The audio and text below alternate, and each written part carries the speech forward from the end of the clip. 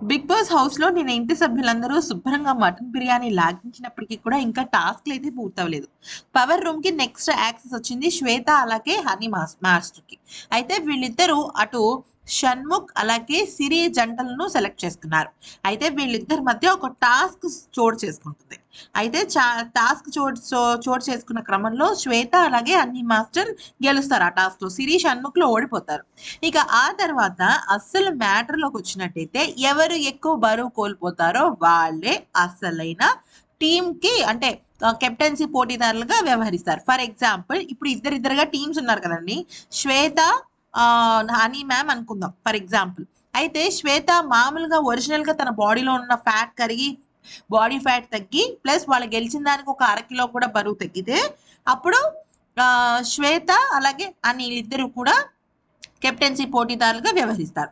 అలాగా ముగ్గురు జంటలు సెలెక్ట్ అయ్యారు. ఒకటి మానస్ అని, రెండు శ్రీరామ్ హమీద, మూడొచ్చేసి శ్వేత అలాగే అని మాస్టర్. ఈ ముగ్గురులో ఇప్పుడు అస్సలైన ఈ మూడు జంటల్లో అసలైన పోటీ ఎలా మొదలవుతుందంటే ఎవరు పోటీగా చెయ్యాలి. అంటే కెప్టెన్సీ పోటీదారులుగా ఒకళ్ళే వెళ్తారు జంట నుంచి.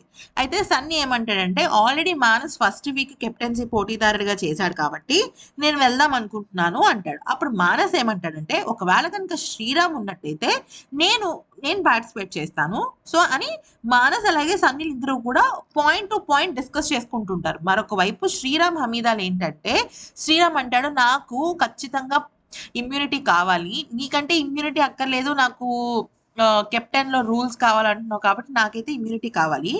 అయితే ఒకవేళ కనుక అటు సన్నీ వచ్చాడనుకో సన్నీ అంటే మానస్, సన్నీ టీంలో సన్నీ వచ్చాడనుకో ఖచ్చితంగా సన్నీకి ఓట్లు పడవు. నీకు శ్వేతాకే పడతాయి. సో, నేను వెళ్దాం అనుకుంటున్నాను. నేనెళ్తే బాగుంటుందని నా ఉద్దేశం. ఎందుకంటే నాకు ఇమ్యూనిటీ కావాలి అని శ్రీరామ్ రిక్వెస్ట్ చేస్తాడనమాట.